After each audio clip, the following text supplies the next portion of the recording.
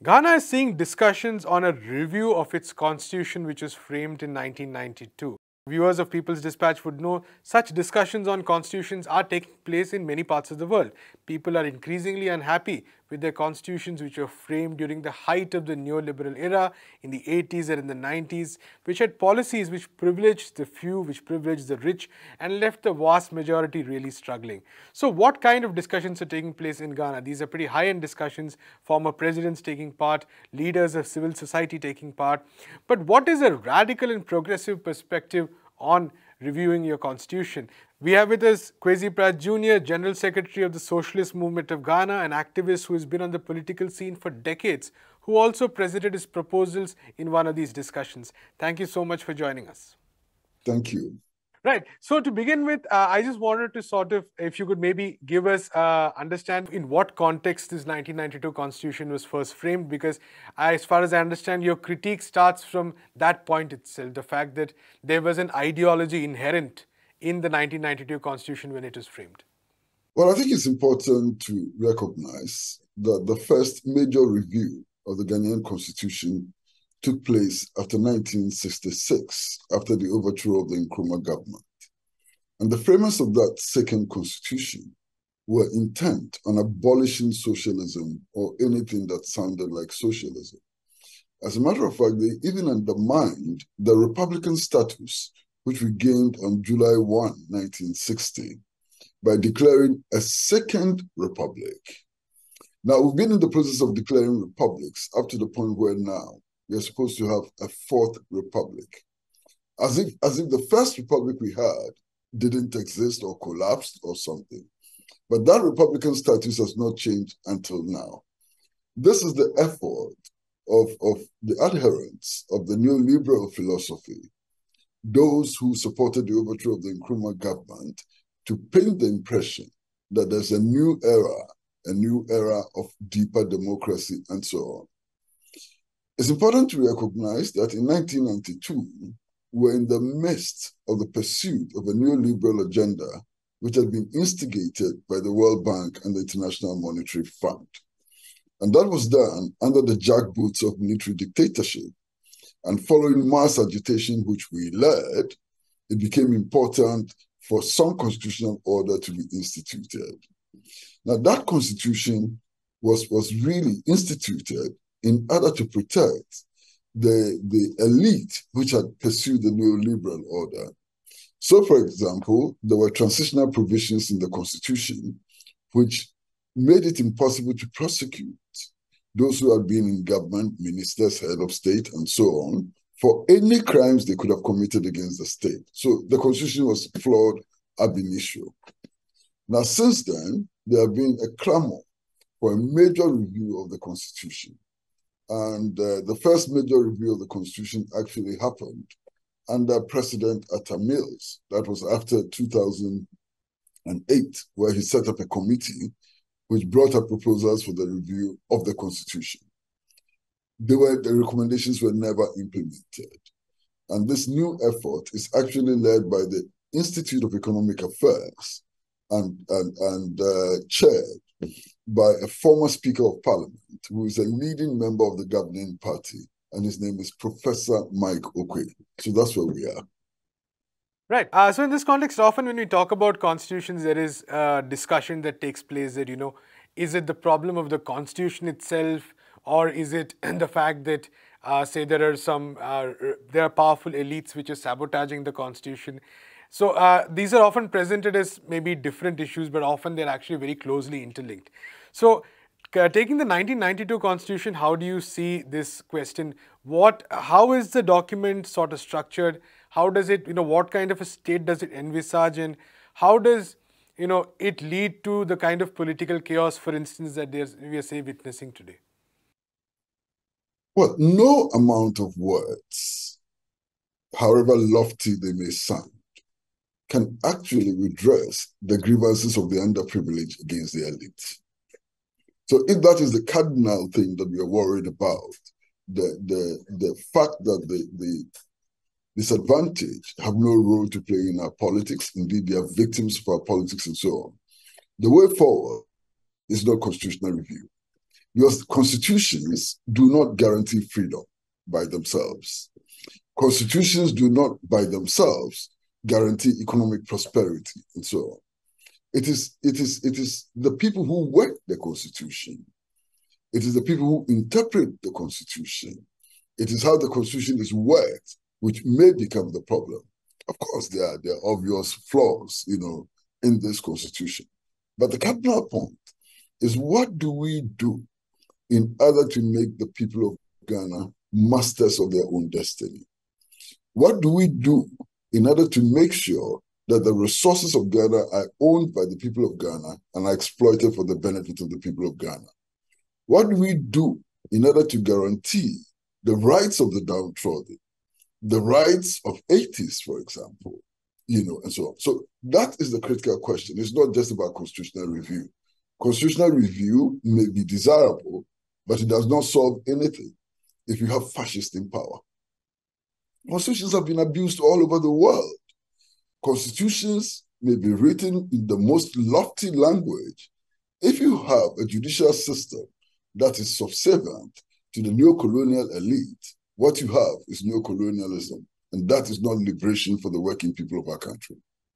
Absolutely. So in this context also quickly wanted to take you through some of the more structural aspects in terms of how, uh, you know, how you would envisage reform. And I believe you also gave a presentation during this review discussion. So in terms of the more practical nitty-gritty, where do you think interventions need to be made to sort of bring about what you're talking about, that a constitution which can actually help uh, the poorer sections, the underprivileged more?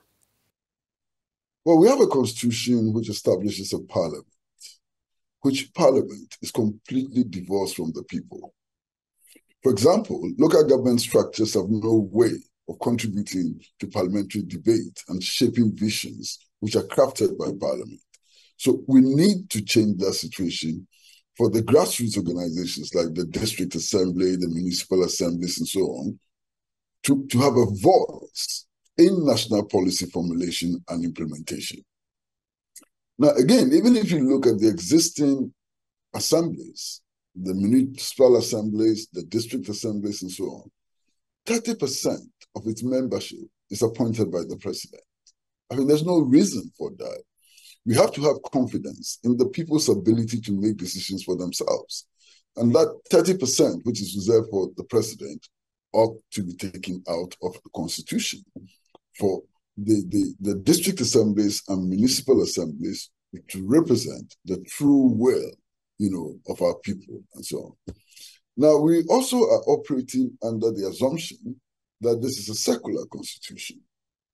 And in spite of the assumption that this is a secular constitution, the preamble to the constitution is a complete disaster. It's a preamble which says that we are adopting the constitution in the name of the Almighty God. That is not secularism. Now, if you look at some of the constitutional uh, institutions, like the National Media Commission, it's composed largely by the elite, you know, representative of the Ghana Bar Association, representative of the Christian Council, representative of the Muslim Council, and so on. We think that that process needs to be democratized in order to have genuine people's representation, which may include, for example, the trade unions and, and, and so on. Now, if you look at the religious makeup of the National Media Commission, you would find that African traditional religion is completely omitted. It doesn't make sense if we want to achieve the ends of secularism.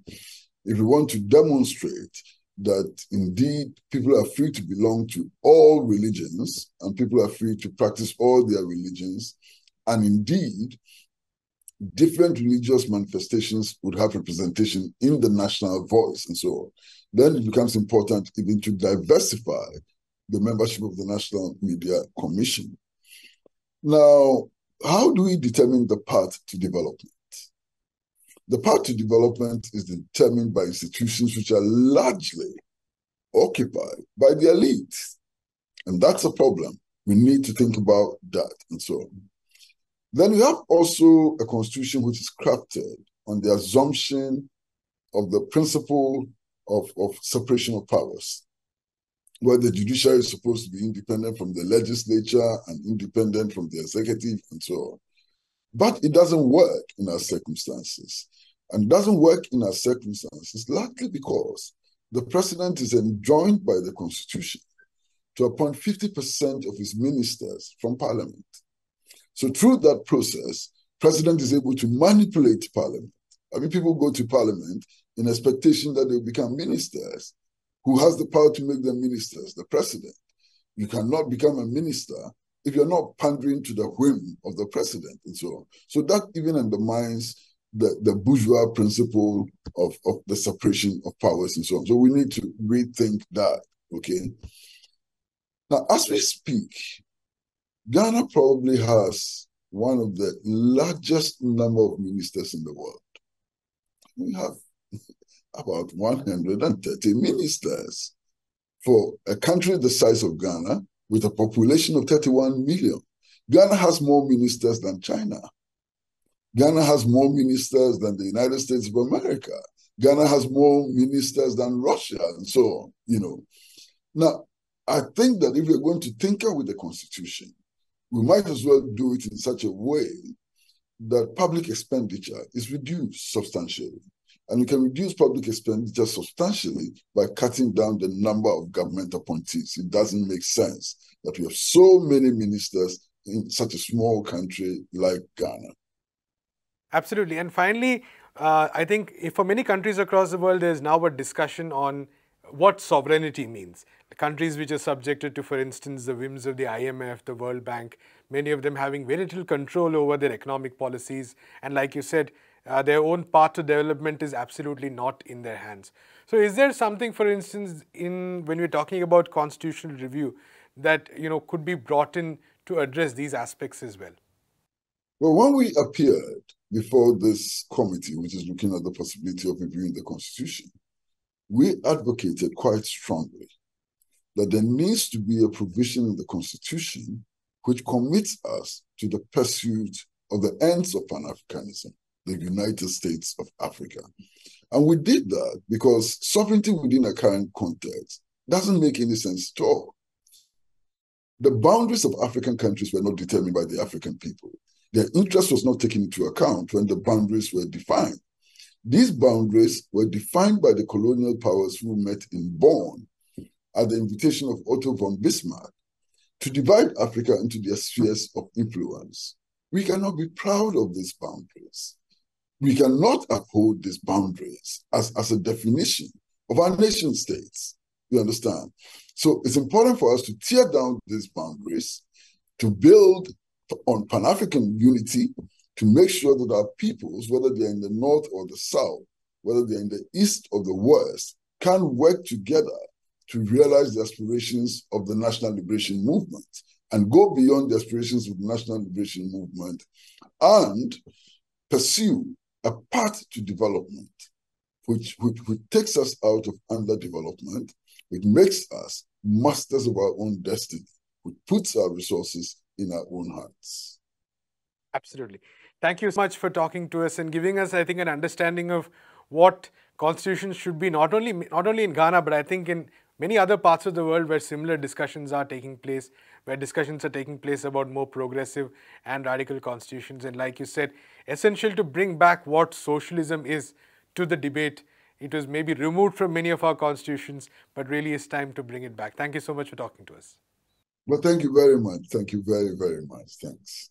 That's all in today's discussion. We'll be bringing you many more such debates about constitutions, about how people can expand their rights about the struggles needed for that in future videos of People's Dispatch. Keep watching.